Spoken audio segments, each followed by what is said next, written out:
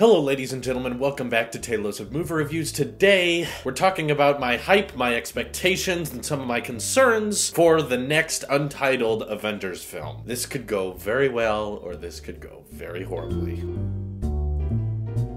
So, in case you weren't around when we reviewed Infinity War, I really, really liked it, and I was really not expecting to. I was going into that film thinking there's going to be too many characters, the plot's not going to be followable, there's going to be so much going on, and at the end of the day, they're all just going to team up and they're going to learn that teamwork is important and they're just going to pull through and everything will end up fine. But, due to the fact that I don't read the comic books and I don't know the stories behind most of these plot lines, I went into it with a completely low expectation and came out of it going, wow, that was really impressive. Expecting to hate a film and having it actually prove you wrong and get to the point where you're feeling for characters that you thought you didn't care about anymore. So, overall, what you need to know is I didn't think I would like it. I ended up loving it. So, where does that put me now for the next Avengers film? Well, the title's supposed to be announced soon, as well as possibly a teaser trailer in the next couple weeks. We don't know for sure about that, though. I think the difference with Avengers 4 is I'm going to be going into it with a higher expectation now of this sudden regenerative interest in the franchise because there was a long period of time where I enjoyed Marvel films, but I didn't think they were the greatest, and I was much more interested in where DC was going, and then DC uh, went where they were going. So that that interest didn't hang on very long, but slowly I realized that Marvel was starting to do a better job at telling stories and keeping it interesting and lighthearted and dark and deep at the same time. And I can tell that there's some legitimate passion and legitimate interest that the creators of that franchise have and of those characters. So I'm trusting that they're going to be able to do something interesting, but I'm also looking at Captain Marvel, which I have mixed feelings about. I've seen the trailer. I know that she's going to be in the next Avengers, but based on what we know about Captain Marvel from that trailer and her involvement in the next Avengers, I'm worried that it's going to become a little bit too overpowered of a character. It would be really dumb if the big savior to mankind is just, well, Captain Marvel shows up and she's so, so powerful that she kills Thanos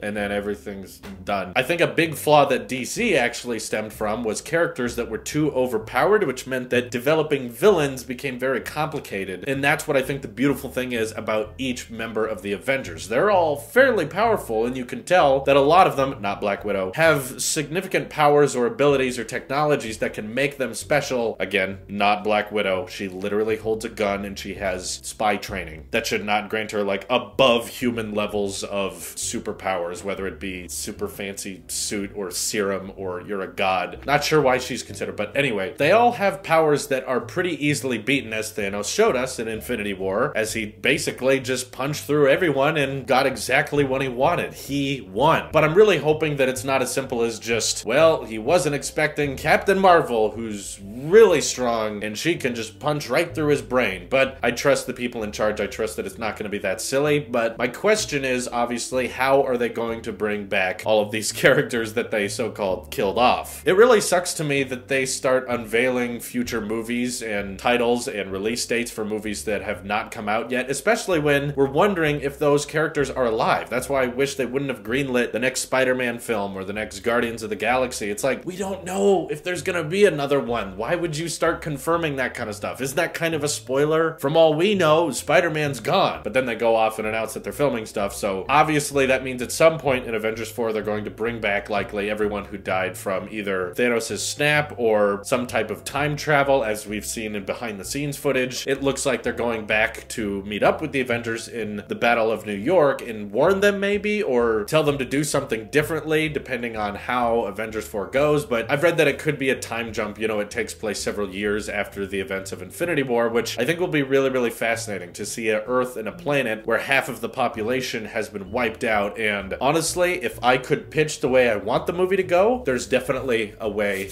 um, they could satisfy me. Not saying this is going to happen, this probably won't happen, but in my opinion, what would be absolutely awesome is if somehow, maybe through Tony's digital assistance or his machinery, he's able to get his way back to Earth, and Tony finds out that Pepper dissolved when Thanos snapped. Meaning that the love of his life, the only woman he's ever cared about and sworn to protect throughout his entire life, has died now because he failed. And that just sets him off. That's the last straw. No more funny, no more casual Tony Stark. He just decides he's going to use every ounce of his being to defeat Thanos no matter what. Maybe he has to work with Captain America, but honestly, Captain America's powers always seem very fishy to me. He's able to make the shield bounce in any way you can possibly imagine. And then sometimes he's just a really strong guy who can run pretty fast, and other times he'll jump 40 feet in the air, and I'm like, okay, well, how is that possible? I mean, I get that it's steroids, but steroids don't mean you can like jump like you're on the moon or something. But anyway, if I had to choose someone who is going to be actually killed off in this next film as kind of a they died trying or kind of a sacrifice that the Avengers have to make, it would be Cap. He's a fairly interesting character, but I feel like his powers are so outspoken compared to Thanos, who was able to stop him basically with one arm. Be like, no, try to hit me, try to hit me. Then he couldn't. I want to see like Iron Man in another Hulkbuster outfit, except this one's using nanobot technology, maybe has a ton of Hulkbusters and drones, and he's able to literally just say, I'm going to defeat you, Thanos, and maybe carry in a line from the last film, something like, I hope no one remembers you, and then kills him, because Thanos said to him in the last film, I hope they remember you. He admires him, his mind is cursed with knowledge, and then Iron Man returns the favor and says, No one will remember you. And then he's able to kill him, and there's even some concept art of Iron Man wielding the Infinity Gauntlet. Maybe using the gauntlet, he's able to turn back time before everything happens. And I don't know, if they could invent new methods of how everyone comes back from there. But very interested in what Doctor Strange said in Infinity War, saying there's one possible chance of winning. No, it's not the one where Chris Pratt decides to not punch Thanos, where they almost have the gauntlet off his hands. Peter Quill, you kind of ruined everything. No, but there's only one possible reality where everything works out, and apparently this is it. The one reality where everything works out is literally handing Thanos the Infinity Stone. I'm still confused by that, but what does Doctor Strange mean? How come the only way they could have won is if Thanos wins, flicks the finger? Why did that need to happen? Why couldn't Chris Pratt just not punch Thanos repeatedly in the face and then they could just get the gauntlet off? I feel like they almost had it. But I know that they're probably not going to do my exact wishes. I just thought I would tell you what I would like to happen. Obviously, I'm sure there's going to have to be some type of teamwork. Maybe they could throw Ant-Man in Thanos' ear and then he could get big again and just blow up his head head. I think there's plenty of simple ways they could defeat Thanos because I'm not sure if he's like godlike to where it's impossible to kill him, but at the same time, he did bleed. And the only Avenger to get Thanos to bleed was Iron Man, meaning that maybe if Iron Man worked with the people of Wakanda and they could get vibranium involved, after watching Black Panther again, I feel like you can just slap vibranium on anything and it will suddenly make it invincible. So why not get Iron Man and vibranium together, make some type of super Iron Man suit, and defeat Thanos with that? that, you know, because I feel like we've established that Thor is hopeless against Thanos. There's not much he can do. He's got a new axe with Groot's arm on it, but really that should just be used for transportation. It should get Iron Man back to Earth, and then it should get all the Avengers to wherever Thanos is using the Bifrost. Other than that, though, I'm sure the hammer can hurt Thanos quite a bit, given that last minute in Infinity War when Thor chucks it right into his chest. By the way, Thor, yes, you should have aimed for the head, or at least the arm. That would have at least cut the circulation to his hand off. So I suppose Thor does have a a chance as well. Maybe Thor and Iron Man working primarily together. I just don't see the point of throwing a shield at Thanos. I feel like he'd slap it away like a frisbee. I'm sure Captain Marvel's going to be worked in there as well, but I don't know. I feel like because my expectations are higher now, I might not enjoy the film because I'm expecting too much and I want an appropriate closure to all of these characters as a lot of their contracts are ending with this film. So, what do you guys think for expectations for your hype for Avengers Infinity War Part 2 or whatever it ends up being called? You expecting to like it? You think it's going to be